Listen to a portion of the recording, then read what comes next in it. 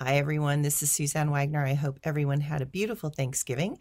Today, we are doing the numerology for the 24th of November, 2023. If you add all those numbers together, you get the number 15.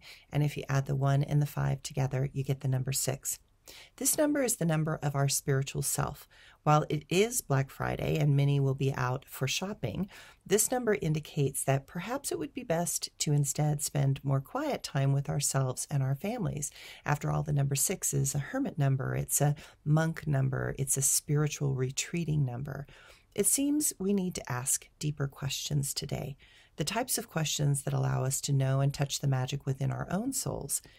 We have to practice quiet to fully hear our own wisdom. We have to learn to appreciate stillness because often it precedes many wonderful and magical moments. In a frenetic world in which we live, it constantly invites us into the chaos, but all minds need to be trained. They need to have enough self control and awareness to know how to stop and observe.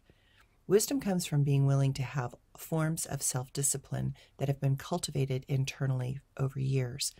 The world will always try to pull us off the paths to clarity. It is up to us to know what is really important for us and to follow the path rather than the paths that intend to lure the soul into further karmic suffering. Thanks, everyone.